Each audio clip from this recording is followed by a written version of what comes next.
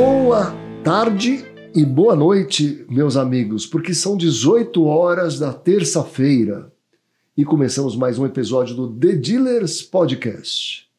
E você já sabe que você tem que curtir aí, mandar o seu joinha, fazer seu comentário, ativar o sininho, se inscrever no canal, etc, etc, etc. Então, por favor, desde já, faça isso, porque hoje nosso podcast está sensacional. O The Dealers traz para você uma pessoa, olha, incrível, bem diferente do normal, porque ele tem história para contar. E ele veio lá do Piauí. É, ele é presidente de uma associação de marca. E ele também é diretor, presidente do grupo Gelta, lá do Piauí. Estou com o meu amigo aqui, José Sobrinho. Seja muito bem-vindo. Muito obrigado por estar aqui. Obrigado, uma honra o seu convite. Você sabe que para mim aqui é uma superação, né? Esse negócio de dar entrevista, falar em público, mas eu tenho, tenho vencido a mas, cada momento. Mas sabe que todo mundo fala isso e chega aqui e arrasa. Eu vou te dizer alguns casos, inclusive.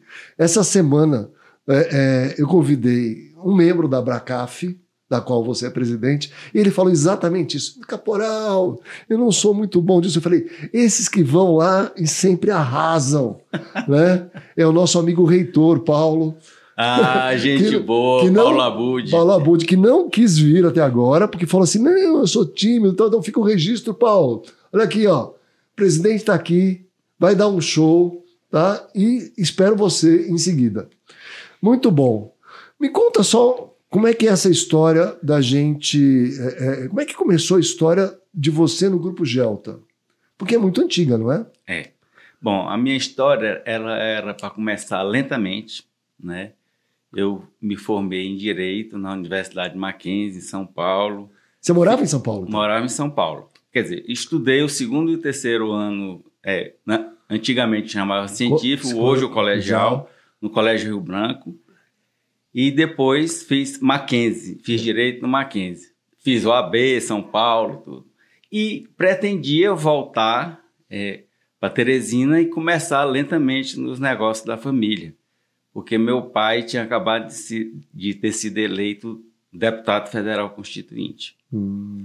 Bom, Aí eu disse assim: dia 2 de janeiro eu começo. Isso foi em 89. Em 86. 86. Dezembro de 86. É, 89 já foi o Collor, né? Foi antes. Tá? É, dezembro foi. É, exatamente. É, exatamente. Ele ia assumir a, a, a, Câmara no dia 1 de fevereiro. Olha. Aí eu digo: dia 2 de janeiro de 87 eu começo. Bom, para minha surpresa, nós tínhamos um gerente já no grupo, o grupo já tinha 10 anos. E o gerente pediu demissão no dia 31 de dezembro, dizendo que não iria receber a ordem de menino. Aí minha vida, eu cheguei lá, meu Deus, agora é comigo. E aí, lentamente, eu, é, o que eu queria fazer lentamente, eu tive que fazer de uma vez. Eu queria entrar em cada departamento, conhecer tudo, e eu tive que assumir tudo ao mesmo tempo. Me achei no negócio, me apaixonei pela, pela, pela atividade, pelo ramo. Eu nunca tinha trabalhado na vida, né? A não ser nos meus estágios lá do curso de Direito, Direito. nos fóruns de São Paulo, né? Mas é, é, é irrelevante. Então eu fui e trabalhei muito e desde então, hoje já tem 37 anos que eu comecei a trabalhar e me sinto como se estivesse começando. Tenho a mesma empolgação de quando eu comecei há 37 anos. Que bacana, que bacana isso. E, e como é que foi? O teu pai passou a bola para você? Sim, meu pai, quer dizer, ele me passou a bola por, por falta de praticamente assim de opção, vamos dizer assim. O, o gerente saiu, Mas eu então... ia começar devagarinho, ele me passou o bastão. Mas ele fazia o que, teu pai? Meu pai era trabalhava deputado. nas empresas, era empresário. Ah, meu pai. Mas não trabalhava na concessionária? Trabalhava. Na concessionária também? Trabalhava na concessionária, é, direto. Meu pai era um homem, é um homem muito ativo Fez 92 anos Nossa, é. É, no dia 22 de fevereiro. É um homem saudável, graças a Deus. É, continua sendo assim a nossa retaguarda. Isso é uma benção. Minha mãezinha também linda, que tenho certeza que está rezando por mim neste momento, porque eu pedi para ela rezar para eu me sair bem aqui na nossa conversa. que bacana. Está né? com 87, vai fazer 88. Mas o meu pai, ele foi fundamental né? é, no início do, da minha carreira como empresário. Por quê? Ele foi para Brasília, mas ele não ficou me controlando, ele me deu o bastão, ele confiou. Eu sempre dava satisfação, mas ele confiou é, cada atitude que eu faria, e digo, vá, vamos, vamos fazer. Tem hora que ele puxava o freio de mão, mesmo assim eu fazia, dava certo. E aí a gente começou a crescer, sempre com o apoio dele. Ele foi muito bacana, porque ele sempre confiou, ele deu, ele, ele passou a história para mim. Seguiu a carreira política dele e desde então ficou nos bastidores. Né? Assim ele fez comigo e, e com meus irmãos, meus sócios, né? É, que hoje trabalham dentro do negócio, cada um num, num, departamento, num setor. Eu tenho um irmão mais velho que, que trabalha no ramo de comunicação, né? okay. né? Que nós somos todos sócios, mas ele cuida lá, nós somos afiliados do SBT, e, e minhas irmãs cuidam da parte financeira, na parte né, do grupo. Do grupo. Tá. Na concessionária só você trabalha? Na concessionária, na linha de frente da concessionária só eu trabalho. Mas, mas as meninas trabalham no financeiro do grupo. Do grupo. Então, trabalho também dentro da concessionária. Ela sabe o da labuta do dia a dia. Você falou né? que o grupo tem empresa de comunicação. E tem mais o quê? Só isso. É. Ramo de concessionária. Só, só trabalhando com concessionárias e com a parte com, de comunicação. comunicação. Ah, é. perfeito, perfeito. Muito bom. Tá. E aí, eu não posso deixar, porque você citou esse exemplo todo, que você já passou, de certa forma, ou está passando o bastão para os seus filhos. Isso. Né? Nesse momento, eles estão na fase ainda de transição, uns mais, outros menos, você tem mais de um filho. Isso. Né? E, e, e você, com isso, eu acho que foi muito bacana, aproveitou este momento que você está fazendo isso com teus filhos, é presidente da Bracaf e criou um programa de jovens sucessores né, para formação desses jovens que estão assumindo as concessionárias a partir de hoje. Porque, em primeiro lugar, normalmente a concessionária é uma empresa familiar. Né? Tá tendo, o Brasil está melhorando nisso, assim, ou, ou piorando, não sei, mas está tendo mudança. Né? Então, estão comprando os concessionários, alguns grandes grupos, etc. Está deixando essa carinha familiar que tem hoje. Mas a maioria, 90% ou mais, são empresas familiares. E você, vendo isso, criou o programa de Jovens Sucessores. Fala um pouquinho para mim.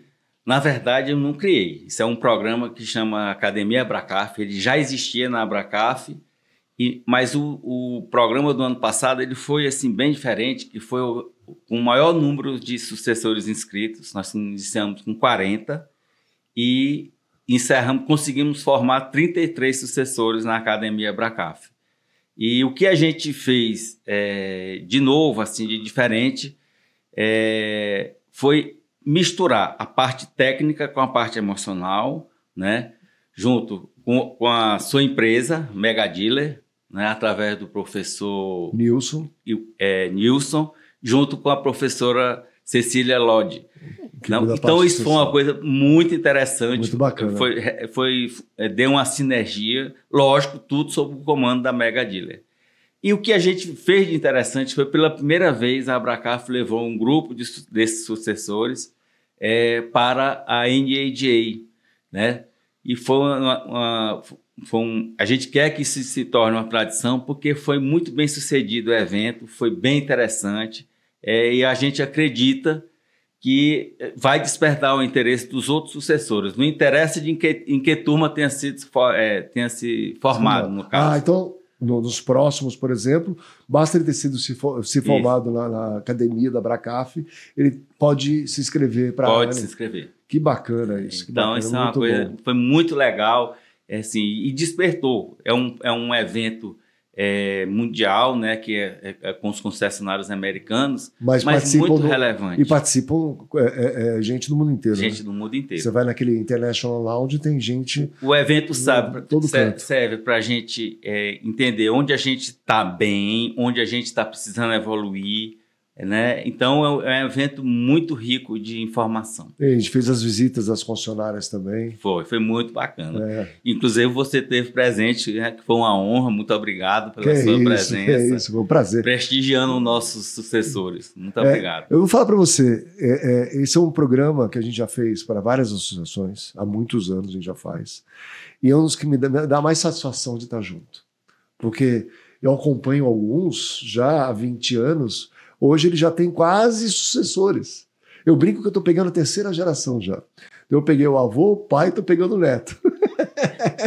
Isso é e isso é muito bacana, me dá um orgulho muito grande ver os bem-sucedidos, vários assim, indo muito bem.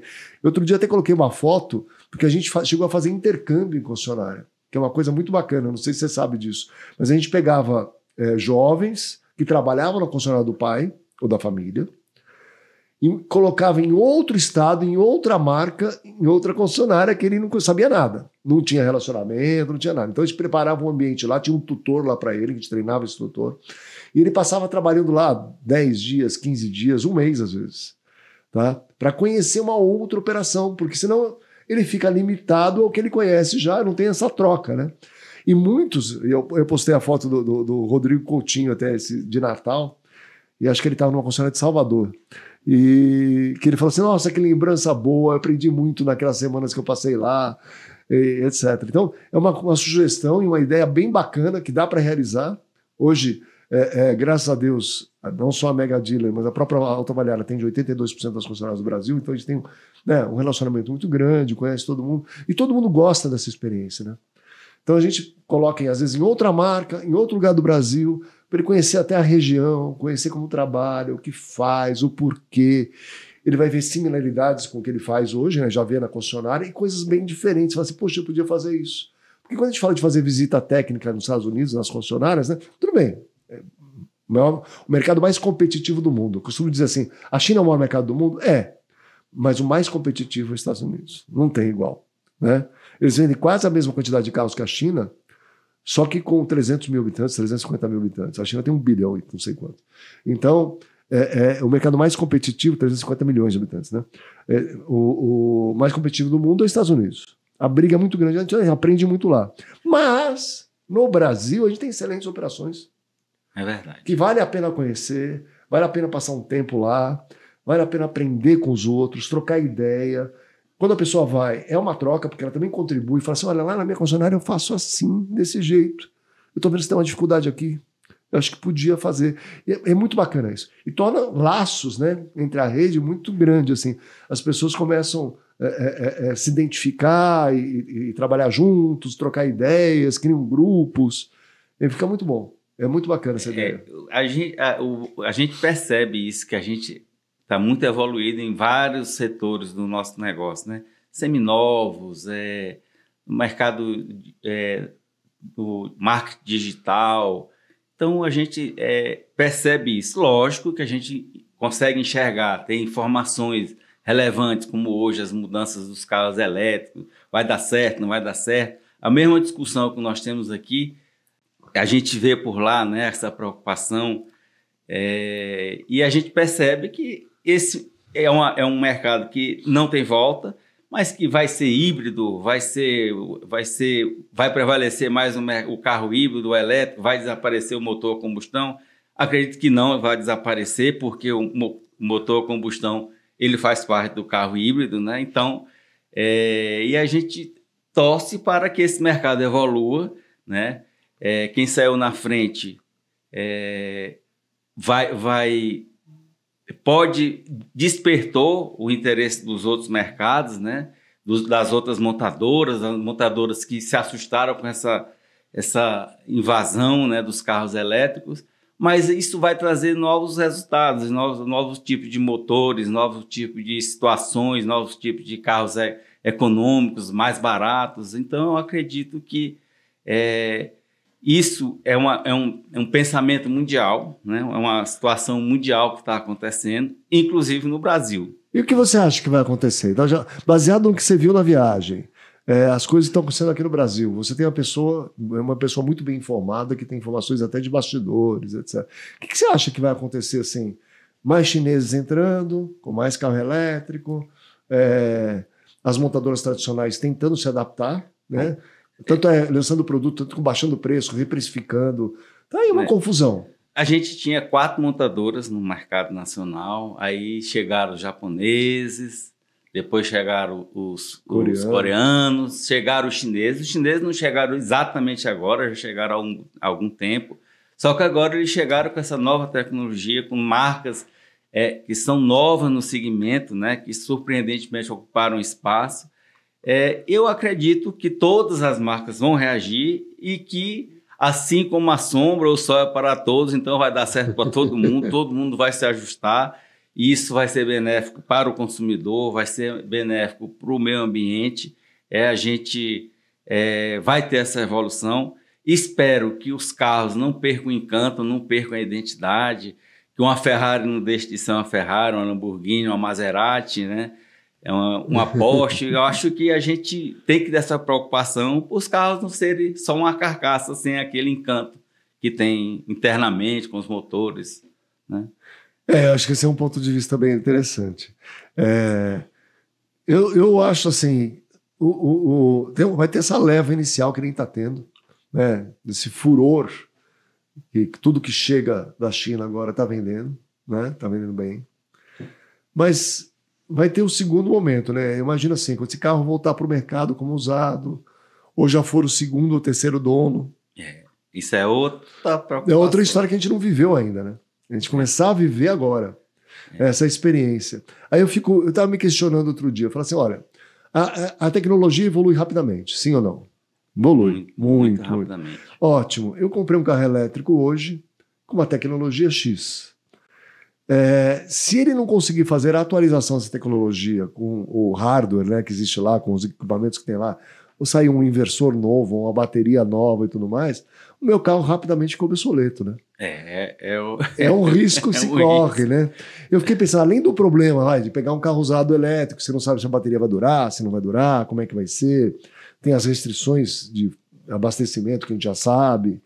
É, tem esse outro lado também, né? De, de, a tecnologia ficou obsoleta. Tá, aí eu vou pegar um carro, porque o motor a combustão ele evoluiu, mas você não percebe tantas coisas, né? O carburador para injeção, é, mas eles andam igual praticamente, não tem tanta diferença tal. Hoje em dia, tecnologia é uma coisa absurda, né? Eu vi isso, acompanhei bastante nos Tesla, né? Mas o Tesla ele foi capaz de atualizar, inclusive, potência de motor e tudo mais online. Isso é sensacional, né, do carro conectado. Eu, eu vi a concerto de um, um Tesla, que o rapaz estava no Peru, um mecânico no Texas, e quem estava intermediando tudo uma pessoa de Miami. O carro parou, eles arrumaram o carro online todinho e a pessoa foi embora. Isso é uma coisa bacana, né? Diferente. Muito, né? muito.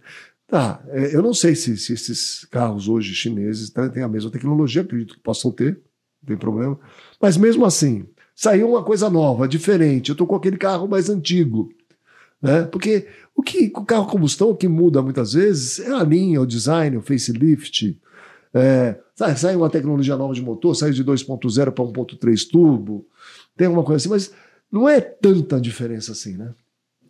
Eu não sei. O que, que você acha disso? Não, eu, eu, eu acho assim, mas isso desperta interesse no consumidor, essas diferenças, né? Do motor é, mais potente, menos potente. Os carros elétricos, eles vão diminuir um pouco essa, essa diferença, esse encanto de um modelo para o outro, né?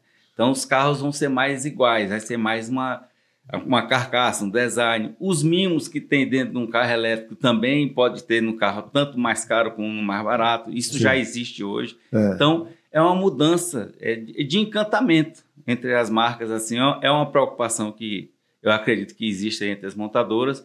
E também, como a gente falou há pouco, a maior marca, né? Como você falou, a maior marca hoje existente no mundo é é, são os seminovos, né? O que é que vai acontecer com esse mercado? É, será que os carros elétricos, de, perdendo a tecnologia, vai virar tipo um iPhone, né? Perdeu, troca é. aí que é que não, se você pegar um iPhone, vai, aí 8... Vai se, vão, se, se tornarão descartáveis. E aí, eles se tornando descartáveis, onde é que vão se colocar esses carros? Aí, é, é, um, é nós vamos aprender, né? Se você pegar um iPhone, ele mesmo, o iPhone 8, vamos supor, nós estamos no 14, 15, sei lá, ele tem é, é, utilidade, pessoas ainda usam e tal. Mas tem alguns softwares já que acabam não rodando nesse processador, né? Precisa de um processador melhor. Isso vai acontecer com o carro também de alguma forma, não sei como, mas vai acontecer. É, é, é, e aí ele vai ter uma, uma utilização mais restrita, né, cada vez mais. É, então, e até por conta da bateria. Então, você pega um carro usado lá de elétrico de 5, 8 anos, né, vamos pegar 8, até 8 anos que ele está na bateria, mas o de 5 anos já tem uma bateria mais usada. né? Não necessariamente a capacidade dela vai estar muito menor, nem nada, mas ela é mais usada. Aí, como usou, vai determinar se ela estava com uma vida útil melhor ou pior. Se abasteceu só em carregador rápido, se teve muito pico de, de, de, de, de consumo de energia, etc, etc. Isso tudo você vai ter que puxar um histórico de como foi utilizado o carro, né? Para poder avaliar. É, é nós estamos aqui criando na Autoavaliar um, um, um, sistema de avaliação de carro elétrico, né? Olha. É. Você está sempre evoluindo. Né? É. Mas tem que ter, né? Não vai Você acha que os carros começaram a vender ano passado? Final deste ano já começa a voltar, né? Vai ter gente que vai trocar um, com um ano, tem gente que vai trocar com dois, mas vão trocar. Quando voltar, como é que vai fazer? As próprias concessionárias vão pegar o carro na volta para revender usado? É, quem vendeu, é, é, se a pessoa quiser optar por um veículo a combustão, numa concessionária que você né, tem hoje, por exemplo, ele aparece lá para avaliar o carro. O que você vai fazer com esse carro? Vai botar no estoque, vai repassar? O que você vai fazer com ele? Né? Então, a gente vai ter que estudar. Inclusive, acho que vai ter regionalidades, né? Por exemplo, é, é, lá em Teresina, por ser mais calor, usa mais o ar-condicionado. Onde usa muito o ar-condicionado, o consumo de energia é maior. Consome mais bateria. Né? Tem que levar em conta isso. Porque é, é, é a autonomia do carro está diretamente ligada ao consumo de energia que o carro está tendo. Né? É. E se tem uma, muito vidro no carro e tudo mais, ele, ele conserva menos o calor, a, a temperatura fria, né? ele absorve mais o calor e vai gastar mais ar-condicionado. Né? Nas então, regiões frias, eu vi uma reportagem também. Tem que esquentar o carro. Que tem que esquentar o carro. Né? Onde a região é muito fria, o carro elétrico tem dificuldade de funcionamento. É, eu tenho um amigo meu que está dirigindo um SIL de, de Lisboa para Genebra. Que não é o nosso caso aqui no Brasil. Né? Não, então. Ele está tá dirigindo um SIL de Genebra, de Lisboa para Genebra agora, nesse instante. Pegando temperaturas de 4 graus, 3 graus, e aí vai baixando mais. E ele está usando todo o aquecimento do carro e tudo mais, tá? Com esse com esse carro indo para lá, para gravar no Salão de Genebra. Então, Bem interessante. É, é assim, o nosso, nosso setor, nosso segmento, né, o, o nosso no caso das concessionárias, a gente está sempre evoluindo, a gente pensa, ah, agora, meu Deus, como é que vai ser? E a gente está sempre se ajustando. O que é importante é que a gente esteja sempre evoluindo, esteja antenado. Por isso a preocupação com os sucessores, né? É, e como você falou, hoje a gente está é, é, profissionalizando cada vez mais as concessionárias. E isso é importante, né? Que a gente dê esse passo, enxergue o que é que vai acontecer, mas é um ponto de interrogação.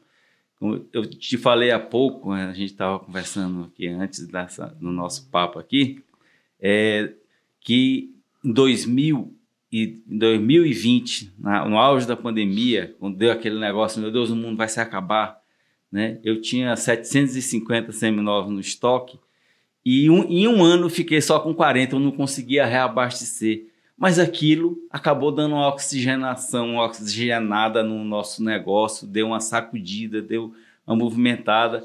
E hoje é, a gente repôs, não conseguiu nunca repor o que tinha antes, né?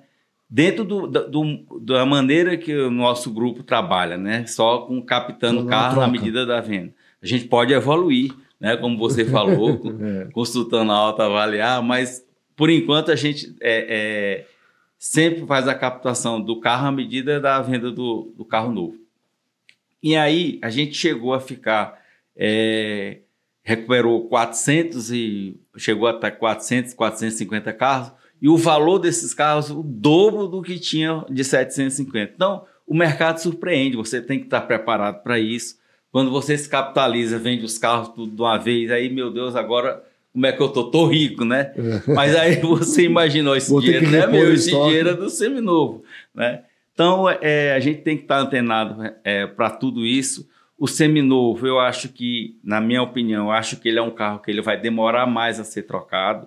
O, o, o carro elétrico, aliás, ele vai ser um carro, vai demorar mais a ser trocado diferente do. Ah, você acha que a pessoa, o, o, consumidor vai ficar mais tempo com o carro? É, a não ser que essa tecnologia evolua muito rápido. Mas se evoluir muito rápido, aí a, o, qual é o valor desse seminovo elétrico, né? Então, então gente... mas você pensa bem, se demorar ficar mais com o carro e tudo mais, vai vender menos zero, né? Porque a pessoa não vai trocar. É, é, é, um, é, um, é um risco. É né? um risco, é um é. risco que está acontecendo. Vou ficar cinco anos, em vez. Vamos supor que o, a combustão ele troca de dois em três, dois, três anos. Mas, e esse ele fica cinco. Isso. Ficou Mas cinco, o que pode acontecer é que você consiga vender, é, é aumentar o leque de consumidores para o carro, né? Então, Sim, vai aumentar. Eu acho que vai crescer. Eu acho que a gente vai ter uma solução, acho que a gente vai se ajustar. Eu acho que o nosso ramo de atividade, de venda de carro, vai continuar bom a gente vai superar tudo, todas essas transformações.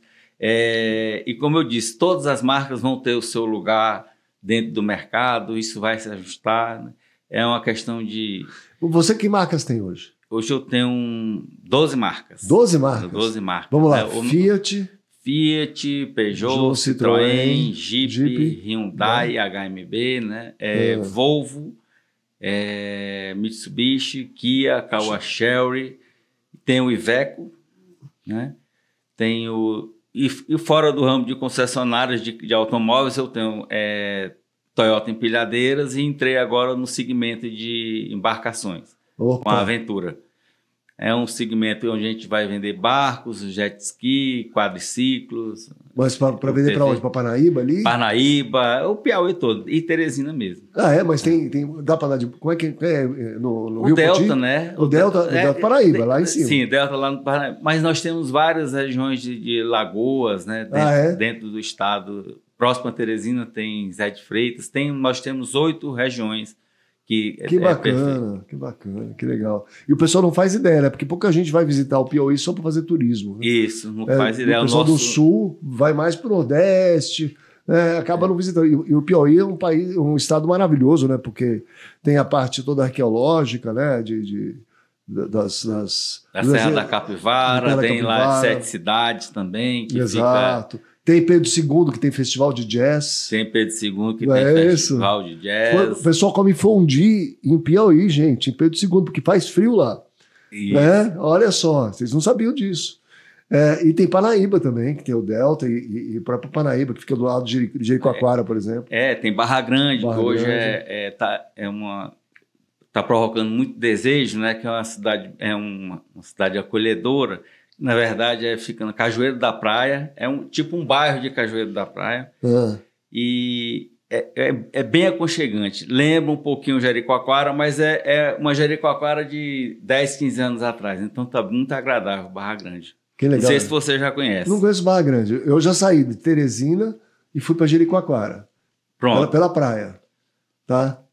Você hoje pode passar por Barra Grande quando você vai pelo, pelo é, indo é, para a praia. É uma viagem que eu quero fazer outra vez. Vou marcar, vamos, vamos fazer. Vou lá para Teresina, pegar um carro lá e vou subir, aí vou parar na Serra da Capivara, vou dar uma olhada, vamos passear. Serra, aí você tem que começar pela região sul, que é a Serra da Capivara sul. é, na, no sul. É. Então eu vou descendo, vou conhecer o Piauí. Né? É, vale a pena. É muito bacana, muito bacana. Apesar né, do Brobobró. É BR Bro. BR Bro. BR Bro. O nosso clima é em setembro, outubro, novembro e um pouquinho de dezembro chega a 40 graus, então é, é muito forte, por isso a nossa fama de tanto calor, né? É, eu... Mas agora, nesses períodos mais chuvosos, a temperatura fica mais, mais agradável. É. Eu costumo brincar, né? Para quem não conhece, que Teresina tem duas estações do ano, né? Inferno e verão. é por aí. Não tem como fugir dessa. Não tem como fugir não disso. Não tem né? jeito. Muito bom, muito bacana. Me diz uma coisa, você hoje como presidente da associação, né, que está ligado aí, o presidente da associação ele tem uma, uma, uma parte de relações públicas e, e, política também, que se acaba se envolvendo junto com o Fenabrave, etc. É, muito me instiga, assim, me intriga os programas do governo. Né, agora nós estamos no programa novo, que já teve o Inovalto, o Inovar, é, agora é o Mover, não é isso? Isso. É, e tudo O que, que, você acha de tudo isso? Assim? O que você acha que. que em que ajuda? Como é que vai afetar o mercado? Olha, eu, eu, eu acho que são programas que tentam é, é, aquecer o mercado, tentam, de certa forma, proteger a nossa indústria. Que essa história de proteger a indústria, todos os países fazem, né? Europa, Estados Unidos, a própria China. É, pra você ter uma ideia, Japão. não tem carro chinês nos Estados Unidos, né? Não. É uma é. proteção é. que tem lá, uma barreira então, que eles então, criaram para não ter carro eu acho absolutamente normal. Acho que o governo tem que se preocupar, tem que se preocupar em, em motivar o consumo. Então, esses programas são, são interessantes. É, acho que o papel da, da FENABRAVE, das nossas associações de marcas, fundamental, porque a gente está tendo um bom diálogo né, com, com, os governos, sempre a gente é bem ouvido, a FENABRAVE é uma associação muito forte, né, formada por 52 associações de marcas, então nos representa muito bem.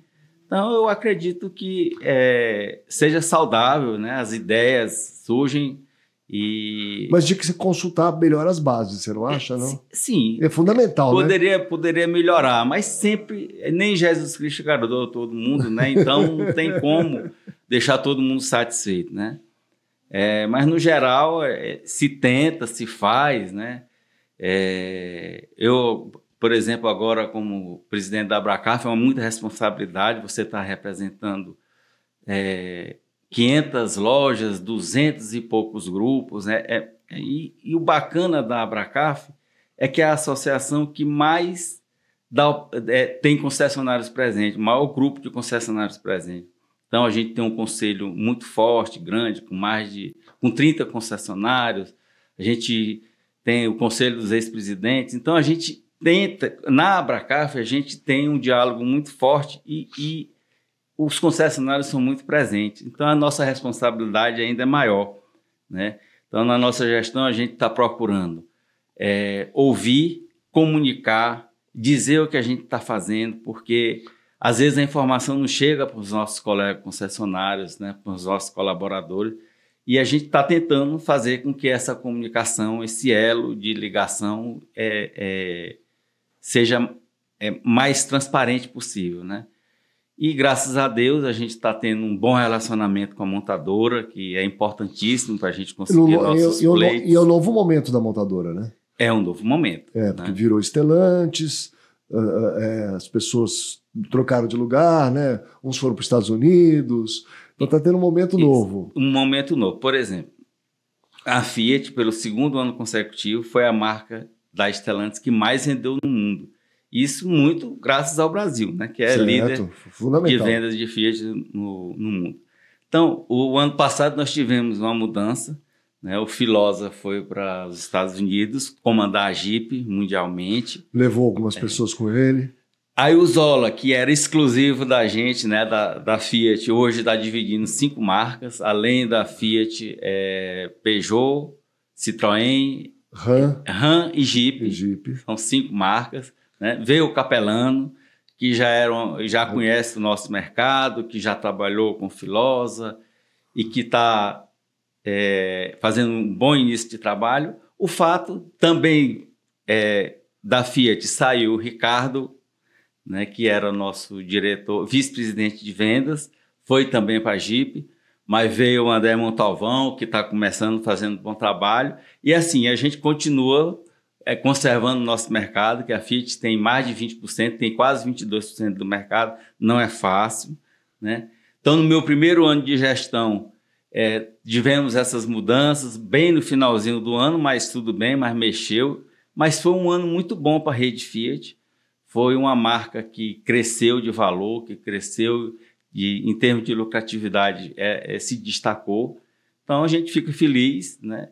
E, e a nossa responsabilidade é continuar que, é, é, que esses resultados é, se preservem e que a nossa perenidade né, com a rede Fiat se destaque realmente, se fortaleça.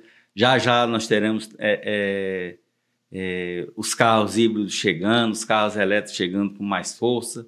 Então, a Fiat, a, a rede Stellantis, né, no caso, vai fortalecer. Então, como presidente da Abracaf, isso é muito importante que isso aconteça e que isso seja rápido. Não, isso é né? bacana, bacana, e você é muito bom nisso, é, em cuidar do, do, bom relacionamento com a montadora, de fazer todo mundo ficar à vontade, colocar suas opiniões, eu sei teu trabalho.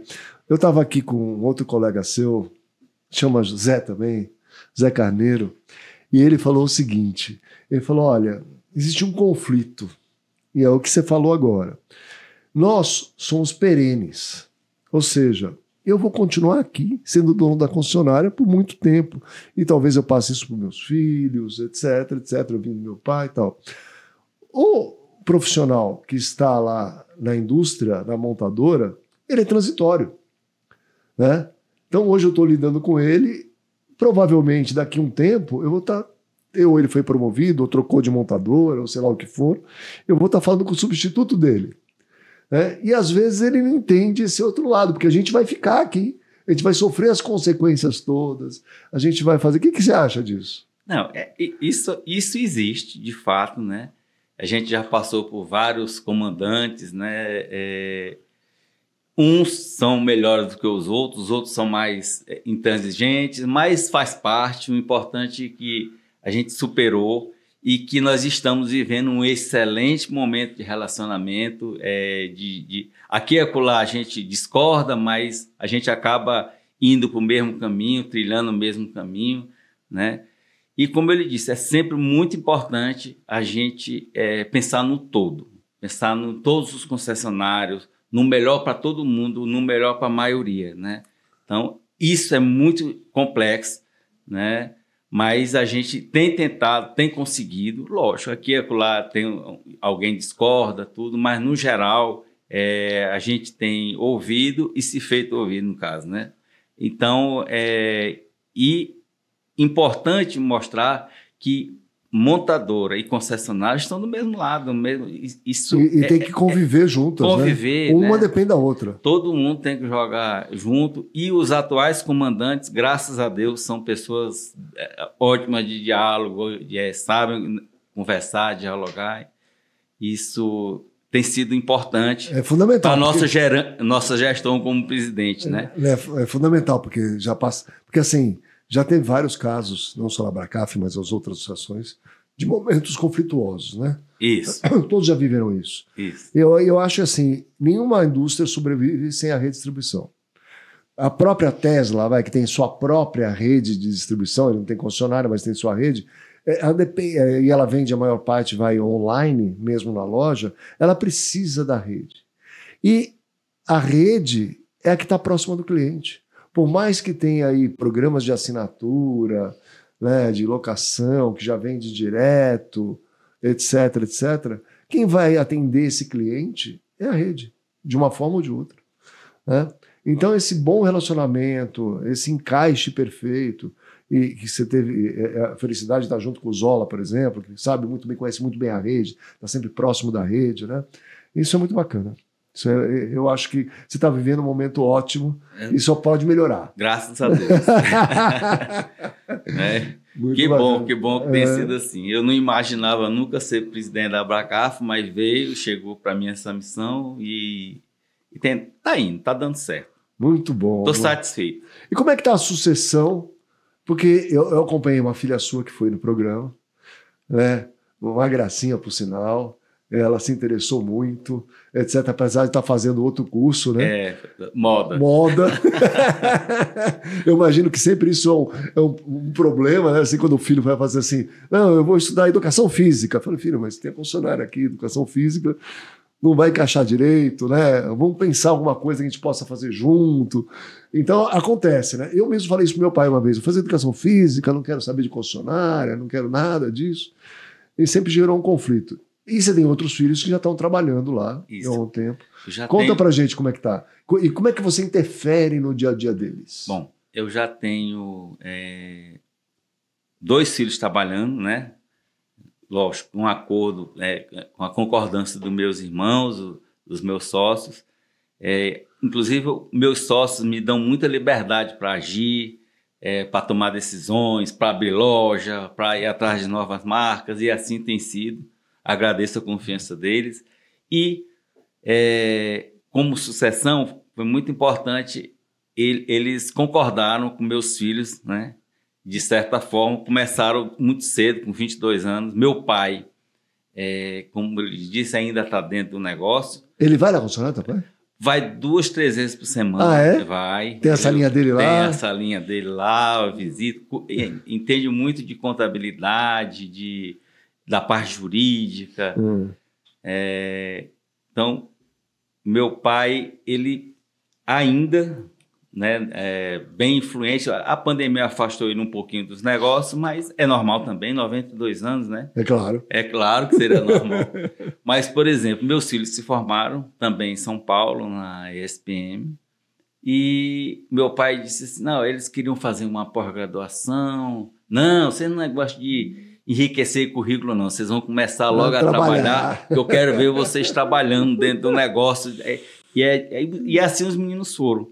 Lá em Teresina, começaram a trabalhar, e aí eles fizeram o curso de Direito à noite, hoje também são advogados, e estão dentro do negócio no dia a dia. A Abracaf é, me ajudou a passar mais o bastão para eles, sabe? Descentralizar. Porque, porque ela toma eu sou tempo. muito centralizador. E né? toma teu tempo, Abracaf, de uma Toma forma. meu tempo, isso é fato. Eu que, porque eu estou me dedicando muito, né? Eu quero fazer um bom trabalho, eu quero deixar meu nome na história, eu quero fazer, né?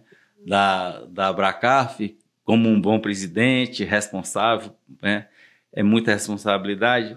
E isso tem dado, é, a Abracaf me fez com que eu delegasse mais tanto aos meus filhos como aos meus gestores, né? É muito importante isso. É o, o, o, o dia a dia da empresa, né? Porque realmente era muito centralizado comigo. Mas hoje, é, Fico feliz que meus filhos estão fazendo um excelente trabalho. Eu dividi mais ou menos as, as concessionárias com eles. Ah, cada um cuida das marcas. É, cada um cuida das marcas. Só eu que fico, só não consegui passar para eles ainda a Fiat, ah. que foi é uma coisa que veio, começou comigo, né? A gente só tinha Fiat. Foi a Fiat que me deu tudo, foi a Fiat que mostrou meu trabalho para que as outras montadoras ah, nos aceitassem também, nos dessem a honra de representá-los também. Então, eu ainda não consegui passar o bastão da Fiat. É, no dia a dia sou eu que sigo. Né? Inclusive, a Fiat lá no Piauí, é, dos últimos 26 anos, só deixou de ser líder por três. Né? Então, é uma marca muito relevante. Que bacana. Né? É, então, é isso. Meus filhos, hoje, eles entendem muito de seminovos, né? muito mais do que eu. Peças, que é uma, uma área que eu não gosto muito. Né? Seminovos eu sempre gostei, mas peça é uma área que eu gosto, não gosto muito, que a complexidade de uma concessionária é muito grande. Então você tem o recebimento, a captação do seminovo para poder vender o novo, é, peças, o pós-venda, a satisfação do, dos clientes. Então o nosso grupo sempre teve essa preocupação de ter um índice de satisfação bem elevado, um pós-venda, é, lojas modernas, lojas é, é, sempre de vanguarda, a gente sempre procurou ter, sair na frente, né? E assim, para a gente ser concessionário, a gente tem que ser obediente à montadora. Eu acho que esse é o grande segredo. Então, é para pintar a parede de azul, pinta de azul, é para mudar a fachada, muda a fachada. Se você conseguir, fizer isso com naturalidade, você tem um relacionamento duradouro e saudável com as montadoras. Então, é, hoje nossas lojas são todas modernas, organizadas, dentro dos padrões que cada montador exige. E a gente passou essa cultura né, para os nossos colaboradores, para os nossos filhos, né, sucessores, né, e com, sempre com a preocupação de respeitar as pessoas e ter seriedade nos negócios. E a gente considera que o nosso maior patrimônio é a nossa credibilidade. Bacana né? isso. E, e, tua filha, depois de ir para a NADA? Ah, fazer as visitas. É, é, ela se animou? Ela está empolgada. Está empolgada? Né? Já, já fala, já pensa nisso de outras formas. É. Despertou ela é, para o lado empresarial, que isso é muito importante, porque foi muito rico né, o, o, o, a Academia Abracaf em 2023 foi muito rica de, em detalhes, então, de relacionamento. Então é a troca, né? A troca, entre eles, a né? sinergia, a, exatamente a troca. Sucessores que já trabalham no negócio, sucessores que estão começando. começando, sucessores como ela que não trabalham no negócio, mas que despertou. Né? É, e o, o, objetivo é esse, então eu, eu, incentivo que todo esse ano nós vamos fazer uma coisa diferente. Como é que é Como ano passado foi um, um, foi muito bem, foi muito forte a presença dos sucessores, de 40 inscrições, de 33 conseguiram se formar.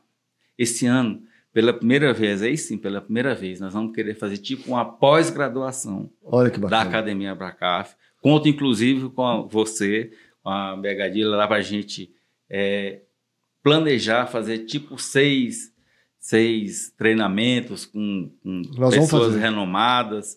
E, e, isso vai valer para todos os, os é, ex-sucessores, né, no caso, ah, quem... ex-alunos da Academia. Então, quem cá. quiser se matricular no Inclusive o Paulo Abud, que foi o primeiro, é. foi da primeira turma, se ele quiser participar dessa pós-graduação. Vai ser bacana. É, eu já comecei a dar uma olhada no programa, com, vai ser muito bacana. É, com Fundação Getúlio Vargas, vai com, ser. Com... Né, Dom Cabral. A gente vai fazer então, um negócio muito é, bacana. Essa é a ideia, e isso nós queremos já lançar a partir de março. Olha que bacana. Então, isso é uma coisa bem interessante. Quantas, pessoas, quantas pessoas você acha que vão fazer? Olha, é, vamos ter, chegar a um número máximo de 40, mas a partir de 20 eu acho que já viabiliza. Ah, tá. Não, então você espera. O, a lotação é 40 pessoas. 40 pessoas, porque mais do que isso. Vai... E já pode fazer pré-inscrição? Pode, a Cláudia lá na, tá fazendo, tá, já está cuidando. Eu sei que assim que o pessoal vê isso aqui, assistir, vai falar assim, pô, eu quero participar, isso, como é que eu me inscrevo nesse negócio? Isso, já, a gente vai divulgar agora, é. no início de março, para as inscrições ocorrerem já a partir de... De março. Até final de março. Até final de março. É, até final ah, de março. que bacana, que bacana. E aí a gente vai fazer, nos meses subsequentes, pelo menos seis.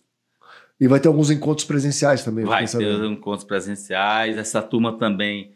A gente pretende fazer um, um, levar também junto já é, com a mesma ideia de levar para a NADA do próximo ano que será em New Orleans. Em New Orleans. É, vai ser bacana. Vai ser bacana. E vamos fazer visitas em outras cidades. Você sabe que eu nunca tinha ido à NADA. Primeira vez foi como presidente da Abracaf lá em Dallas. Ah, é? E assim, eu acho que a gente tem que incentivar os concessionários. Tem vale muito a pena, abre muita cabeça. É, e a troca, e a aproximação, né?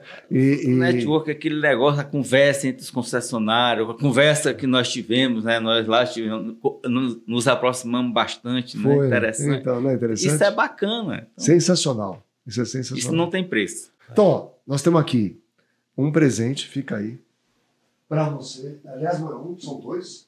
Um vinho. Ah, para você tomar em Pedro II, aqui, ó. Obrigado. É. E aqui é uma camiseta. Vamos tirar foto, tirar foto. Uma camiseta do Bedilhas também. Esse vinho é nosso importador, importa direto da Itália. Opa. Eu sou vinho italiano do bom. Escolheu para você. Da Sicília. E aqui uma camiseta do Dedilhas. Essa camiseta é fresquinha. Que dá para usar. Pra Terezinha. Própria para Terezinha, fininha, aqui, ó. Ah, Dedilhas, bacana. Vou tirar uma foto? Vamos. Eu vou tirar uma foto aqui. Vamos lá. Vamos lá. Corinthians. Não, Agora de perto. Aí, perfeito. Obrigado. Mas olha, muito, muito obrigado. Vamos terminar aqui assim. Muito obrigado. Muito bacana. Fiquei feliz de ter vindo. É, é um prazer, realmente foi uma satisfação muito grande. Eu sei como é difícil para você, não só na questão de agenda, ter vindo até aqui, mas também de romper essa barreira, de ficar é, falando. É, podcast, não é fácil, essas coisas. É fácil. Então eu agradeço muito você ter vindo, tá bom? Foi um prazer. Obrigado. mais uma vez. Obrigado, obrigado. obrigado. Muito bom. Valeu. Valeu.